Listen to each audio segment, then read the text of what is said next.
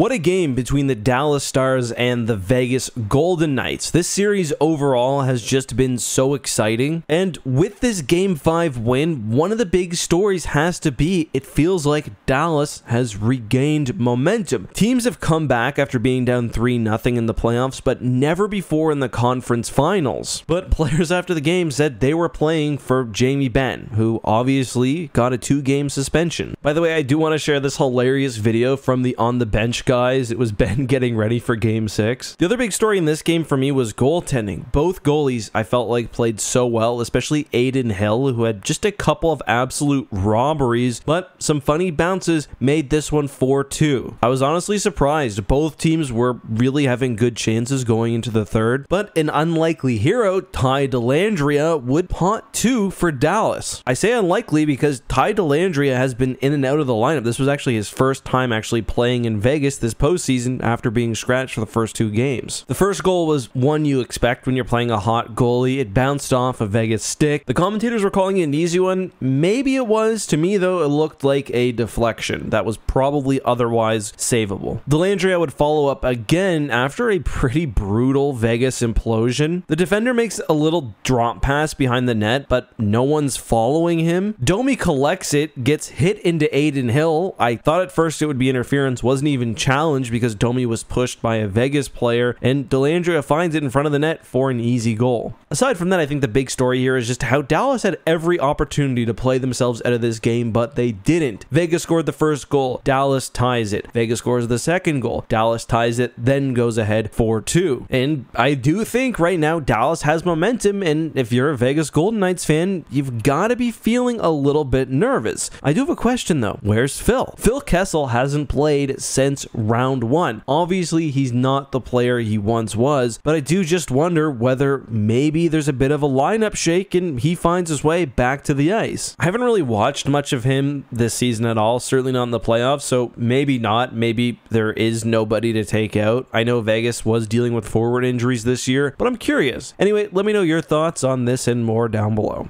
Also, just a reminder, guys, the NFL season is coming. We started a brand new football channel. It's called Peak Football. I'm going to link to it on screen right now. We put up new videos almost every day, including the one you're looking at.